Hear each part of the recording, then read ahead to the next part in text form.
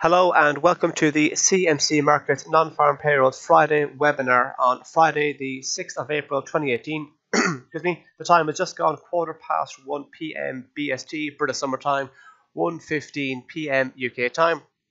And this is the Non-Farm Payrolls spe uh, uh, webinar special. Uh, as always, with all of our webinars, what I'm going to do is I'll leave the risk warning screen slides on screen here for you to have a read through. It's all fairly straightforward. It essentially states that anything that is covered in this webinar is only my own personal views and opinions and thoughts and comments, and they should not be construed as explicit trading or investment advice. Uh, while you're having a read through those, uh, those, those slides, it's all fairly straightforward. Uh, I'll just have a quick chat about what's been going on in the markets. And in terms of the volatility in the last few hours, it's actually very, very quiet. As always, it's non-farm payrolls, it's non-farm Friday. Uh, it's very common to see uh, little or no activity or little volatility uh, in, in, uh, in the run up to the actual all important jobs report, which are out in about 14 minutes.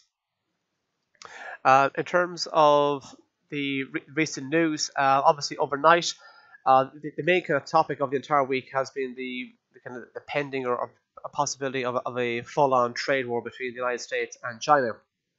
Um, yesterday, China uh, turned around and stated uh, they're they're looking at um, they're looking at retaliating in relation to the to the into the relation to the US US's um, ta- uh, imposition on them. And then overnight, we've heard that uh, Donald Trump stated um, that the that, the United States are looking potentially considering another 100, uh, $100 billion worth of uh, imports on Chinese products. And this is sort of this is exactly how, unfortunately, trade wars work. It's sort of very much kind of tit for tat, back and forth, and all, all uh, and it's and it usually sends traders into, into a bit of a panic and, and often puts a bit of pressure on equity markets. Now, granted, when that was announced, it would probably would have been the early hours uh, in London time. It would have been kind of I think it was half twelve or half one happened uh, in uh, in the early hours of Friday morning in the UK.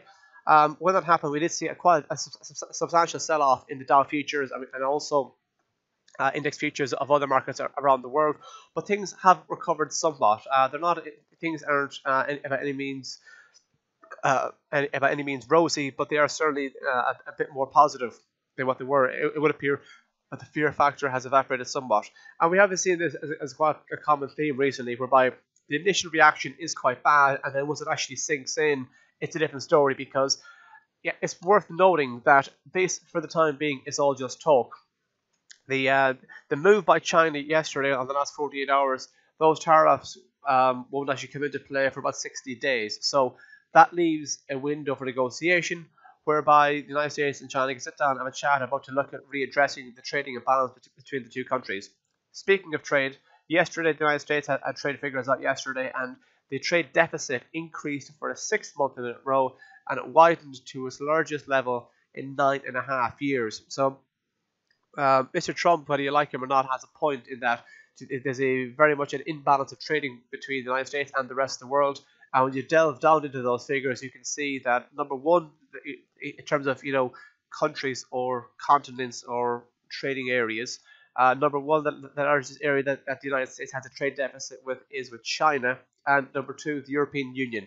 And there you go. China is in the firing line, and the, the, the European Union has been exempt for now but we all know what, what Mr. Trump is like.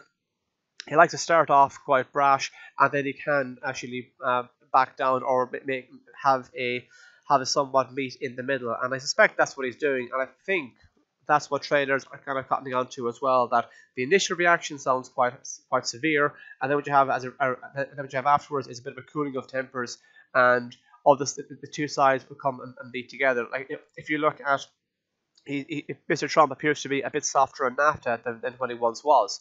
Now, that would obviously the alteration to the to the NAFTA agreement would obviously have a big imposition on both Mexico and Canada, who sell a lot to the United States. But once again, if Mr. Trump talks tough initially, that could get a reaction from the various heads of, gov- heads of government in both in both Mexico and, and Canada, and that's how Mr. Trump would actually probably rather do business rather than actually going down having the route of having to have a full blown trade war. He'd probably talk like he's having he's willing to go uh, like a, a, a full blown trade war, and the way he go, carries on on Twitter, he might get, intentionally be giving off the impression that he is a bit of a loose cannon and and and and that, and ultimately uh, it's often met in the middle. These things often these things can take quite a bit of time, but the situation appears to be the common theme seems to be that a move happens, a, a political announcement is made, there's quite a large a reaction from the financial markets, and, and on the flip side of that, what you end up seeing is some spot of a, of a cooling of, of tensions.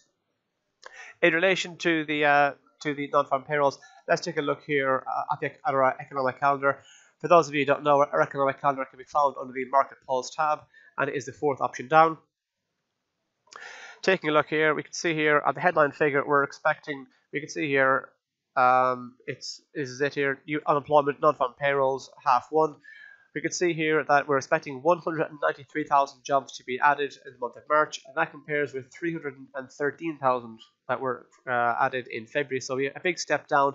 But to be fair, anything in around the kind of 200,000 mark is fairly good, is, is, is seen as, as quite positive.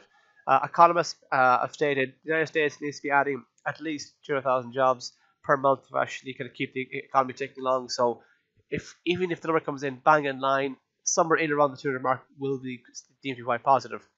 Now, I've, I've said it before on other non-farm payroll webinars, and I always put it uh, in my in my market commentary uh, and analysis on the day of non-farm payrolls. The devil is in the detail.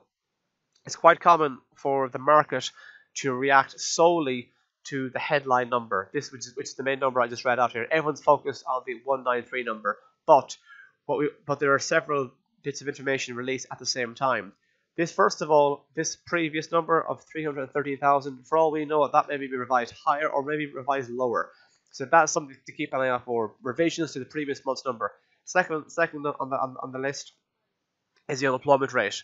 Uh, unemployment rate is tipped to fall from 4.1% to 4.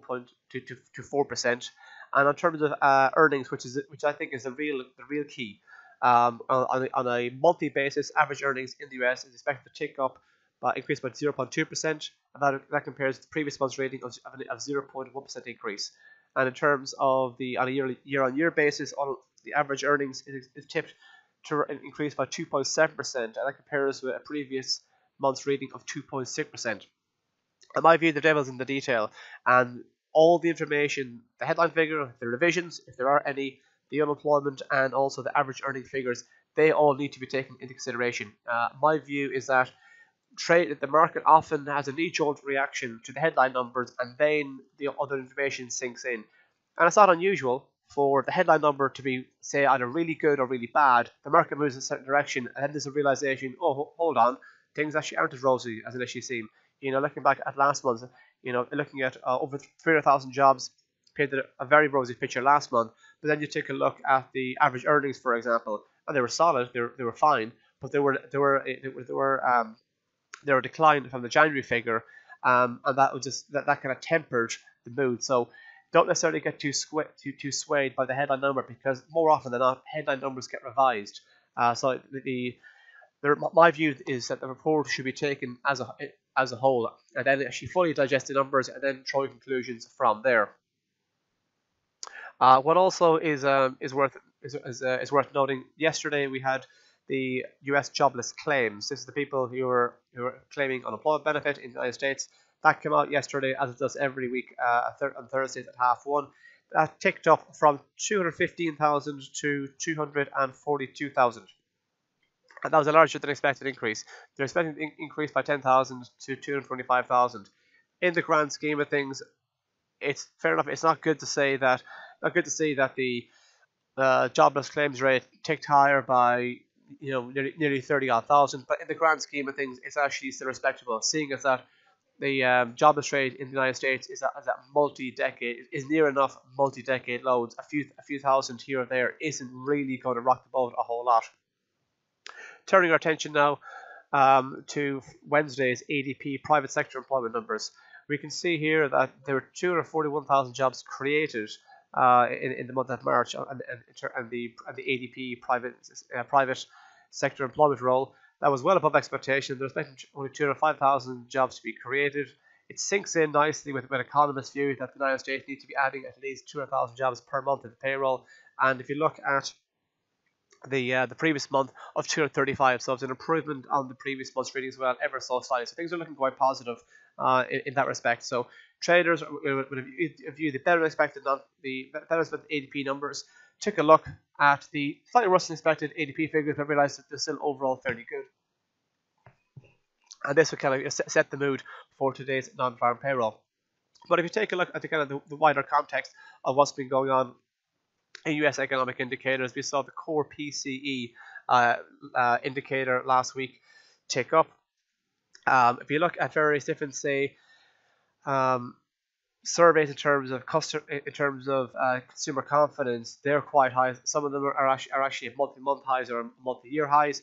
Other economic indicators, such as manufacturing and such as housing in particular, are quite strong. They've come off the ball ever so slightly.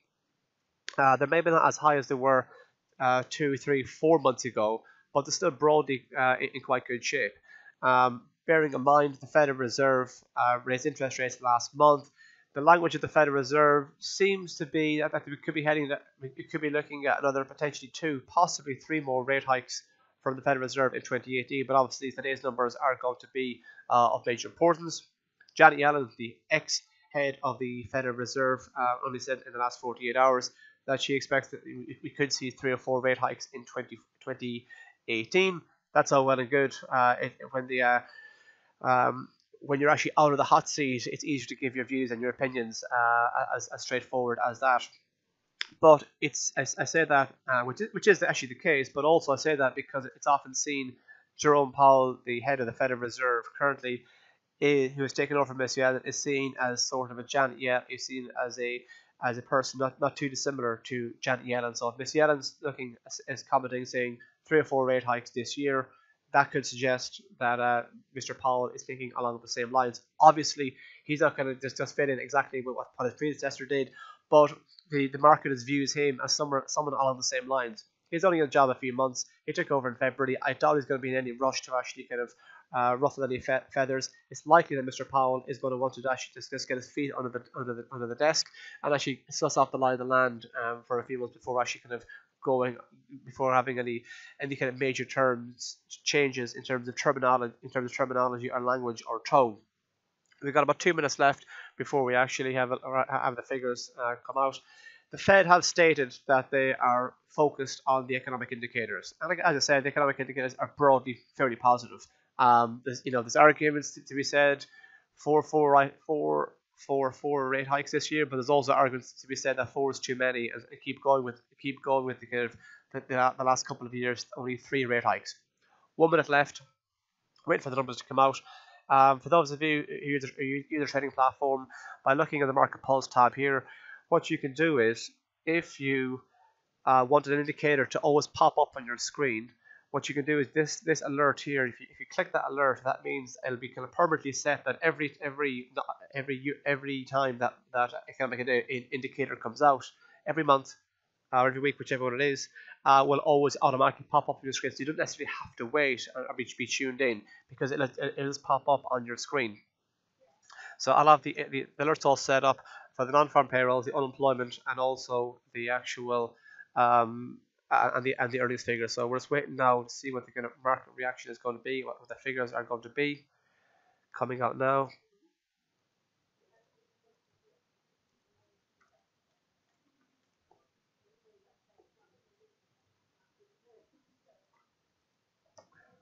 So take a look at the headline number. That was a colossal miss. I just want to ch double check on my Reuters screen on my, my Reuters terminal on a different screen to ensure that that was the accurate figure. 103,000 uh, is the, is the uh, was the figure um, when they were expecting 190 193,000. That seems quite low to me. The, the on, on, the flip side, the last month last month's number of 313,000 was revised higher to by 10,000. Uh, also looking at the uh, on average earnings, average earnings um, on a month month basis increased by 0.3%, an improvement on the 0.2% that was expected. And looking at on an average earnings on a year-on-year basis, the kind of more important one to look at came in at 2.7%, bang in line with market expectations. I'm just going to very quickly um, look at a, my Reuters terminal on a different screen because I just want to really be sure that those um, headline numbers were actually the, the numbers that we're looking at. in terms of the, the reaction from the markets. Um, yes, 103,000 is what was fed through in terms of the non-farm payrolls report. It's uh, quite a considerable, um, um, quite a considerably below expectation. This is an enormous drop compared with the previous two months, compared with, with the previous month. But you know, I know there's a lot of chaos, and I can see the price of gold is uh, is shooting up, and I can see here uh, that the U.S. dollar index is lower. But as I said at the top of the webinar, the United States is to be adding around 200,000 jobs every month to be ticking along nicely. And bearing in mind, last month's number was 326,000 because it is revised higher, and now we're getting just over 100,000, which is poor on the on the, on the top of on, on the head on the at face value, but it's still on average 200,000 jobs per month. When you amalgamate the two, it's probably it's probably it's still a fair, it's still reasonably good. It's not amazing, but reasonably good. And this is a classic example where the, I think the markets are going to be too focused on the headline figure, but also unemployment did, did tick up as well. That's something that is that is something to be uh, um, to take note of as well. So I would say this is, this is clearly isn't a particularly good report. The headline number was, was, was weak, was very weak. The unemployment ticked up. The only thing, only thing on positive I can say is that on a month-on-month basis, the average earnings ticked up, but the, but the yearly one, which is the one people really focus on, came in bang in line with expectation. It's good to see more Americans are uh, are, are, are, are, um are getting better, are, get, are getting paid slightly better, but ultimately it isn't uh, it isn't an overall good report. Uh, I think what we're going to what, what, what we'll do now is I'm going to look at, let's take a look at some of the market reactions. Um, I'll take a quick look now at the Dow futures. I'm always a bit um, not skeptical, but hesitant to kind of pay too much attention to what's going on to, with, with, the markets immediately after the number has come out because there's a lot of always toing and froing. I look at it on a, on a, a, minute basis. We can see here that the numbers came the numbers come out at this candle, this this one minute candle here. The initial reaction was, was, was down and then it pushed higher. And it does appear that we're actually we've, we've, taken out the lows of the uh, of the um, of the of the candle but when the numbers just just about came out. If you look at this, uh, we can see here that the market did uh, was going through quite a bit of volatility, but there we go. You know, the, the numbers are not for a few minutes. We can clearly see on a minute chart that the market is heading south. I'll take a look now at the S&P 500. I suspect it's going to be a similar situation on the S&P 500. So, for those people who are thinking about what's, what's the kind of state of, of, of American equities, We've had a series of lower highs uh, for that in, in, recent weeks. So I'll, show you the kind of big, snapshot. We can see here that the, market has been in a fairly obvious downward trend here on, the S&P 500. Similar looking chart on the Dow Jones. The market's edging lower here. Fair enough, it has popped higher on this occasion, so it's re recouped some of the ground that was lost here. But we take a look now at a minute minute chart. And now can, you can see here once again, this is when the figures come out here at exactly half one, and now we're already below the lows of the half one the numbers only came out four minutes ago. The markets may, may digest this and think to themselves, well, you know what? When you combine the two months report together, it's still okay. Not amazing, but okay. But the initial reaction into the downside. Just uh, one second there, please. So I think in the, in the very near term, it's likely to see pressure uh, on, on U.S. indices. Trading in our non-farm payrolls is obviously, is obviously quite high, is obviously very is obviously is obviously quite high risk given that the volatility and what's going on in the markets. I, as I, as I said, this isn't a good report on its own, but I think the market might try and convince itself that the, that the report combined with, with last month's report isn't too bad. Uh, and for that reason, what we could end up seeing is we could end up seeing a scenario whereby the the market isn't as worried um, about as initially let on, if that makes sense. So I'll take a look now at what's going on with the US dollar.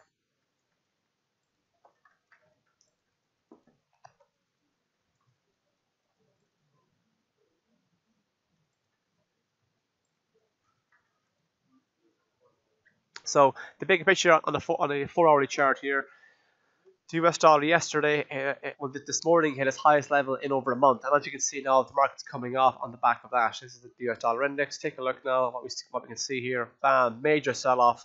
Uh, nothing was going to seem to be positive uh, in terms of the U US dollar outlook. So, but, but bearing in mind, if you look at on a, on a one-hour chart, the US dollar has been doing fairly well recently, so a bit of a pullback isn't an entire surprise.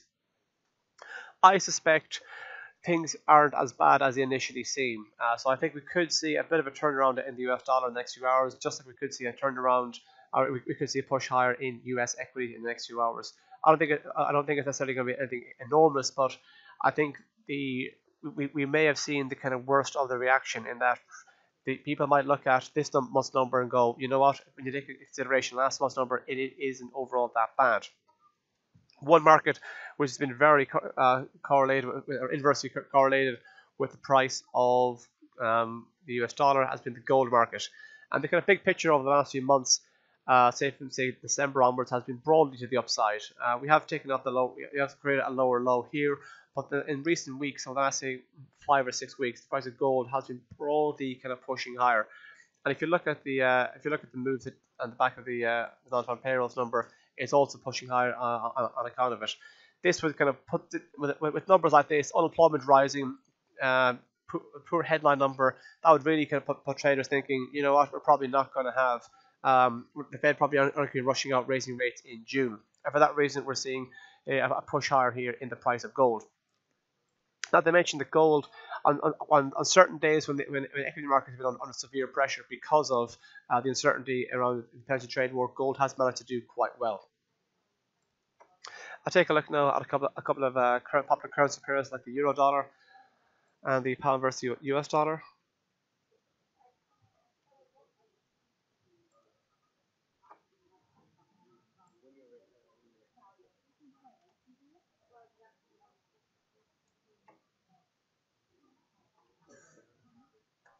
So over the last few weeks, we can see here that, that the even though the euro has been doing fairly well against the against the the, uh, the, US dollar, in the grand scheme of things, we can see in recent weeks, throughout 2018, it has been edging a bit lower, and it's kind of always kind of ran out of steam around the kind of 125 level. And looking at on a kind of a shorter term basis, what we can see here is that it has been edging lower here.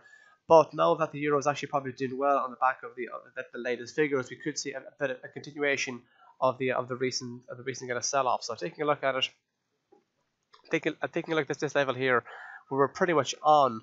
Um, one of the areas to keep an eye out for is this this uh, area here. It's in around the 122.40 level, and we're just north of that at the moment. 122.40, uh, which is the exact low from late March is 122.39.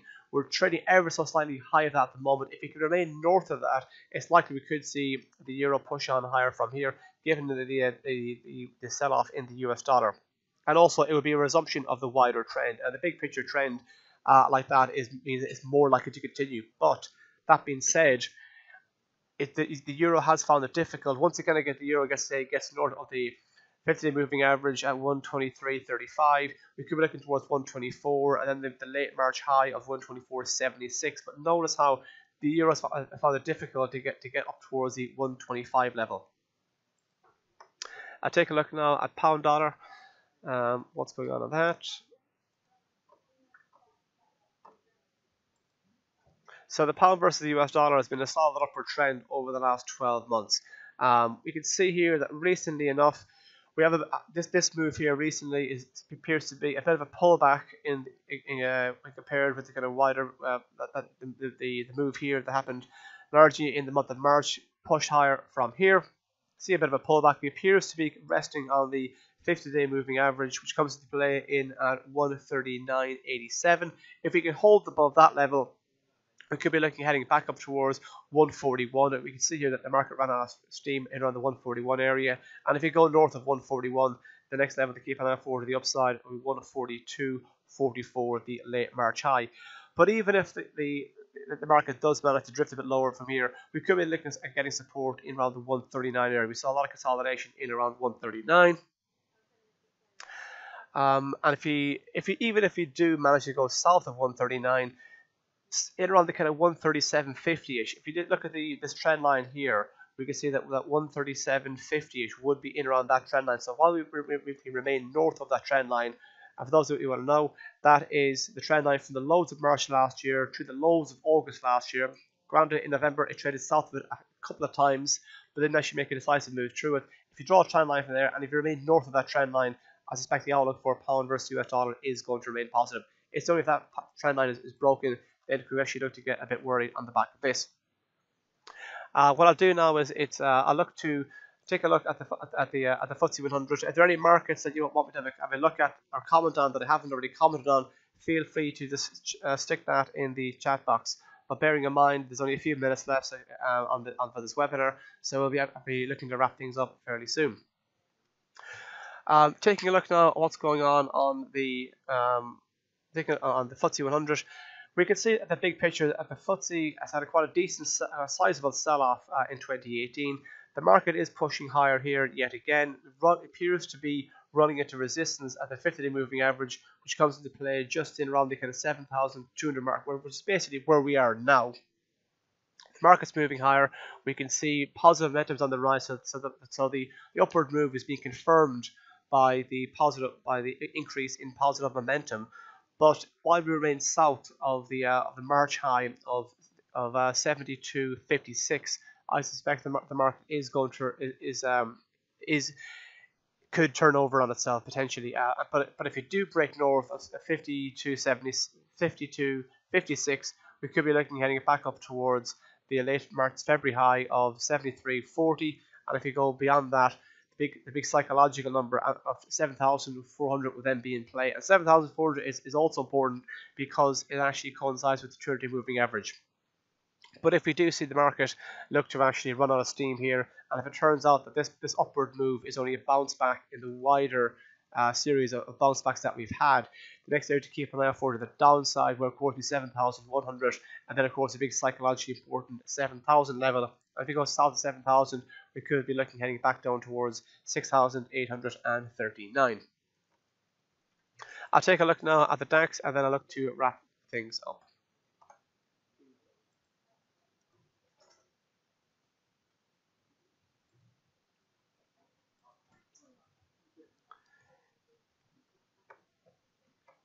Right, as you can see here, the DAX has also had a fairly fairly rough uh, 2018 after losing serious ground in like late late January, early February, it hasn't really managed to actually kind of snap out of the of the, of the downward trend that it's been in. It's firmly below the two-day moving average, which comes into play here. So the outlook is quite is remains negative. That being said, it did manage to hold hold north of this support area here. Uh, this price action of if in around eleven thousand uh, 700 there thereabouts 11,692 or 11,700 as an area uh, as you can see, a classic example of lower high. So, so I suspect we could be looking at heading south again uh, on, on, on the DAX, and, uh, and should it, should that be the case, the next level to watch out for the downside will be the kind of psychologically important 12,000, and if you go south of that, down towards 11,800, and if you go south of that, look towards the 11,700 region. And if you go if you go below below 7,000, that this area here, 7,800, that would create a new low for 2018, and that in itself would actually be quite a worry, and it could point could point to head back down towards levels not seen since February of last year, uh, in around the um, just south of 11,500. What we need to be doing is we need on the DAX to kind of shake off or negate the negative trend that we've been in recently. We need to kind of first of all probably well, head north of, the 50 day moving average, which comes into play at 12,390. But then also you would want to be taking out the March highs, uh, which come into play just shy of, well, they're thereabouts at 12,500, 12,475 would need to be taken out before we can actually even begin to consider should we be looking heading higher. If we do manage to go north of there, we'd be looking heading back up towards 12,600. And if that were the case, you can then get get, get a sense of feeling that we, we might actually target the daily moving average, which comes into play at 12,671. Well, that's all for me this week. I hope you enjoyed this week's non-farm payrolls uh, webinar. It's going to be on the market insights section within the next hour or so, and market insights can be found under the trading trading pulse section and the second tab down. I want to point out that we also have a webinar, uh, the Monday market webinar. Uh, you, you, can feel free to sign up for that. That's on the Monday coming. I'll be giving that webinar, and, and that will be on at 12:15 BST for the summertime. I do want to thank you for your time and your patience.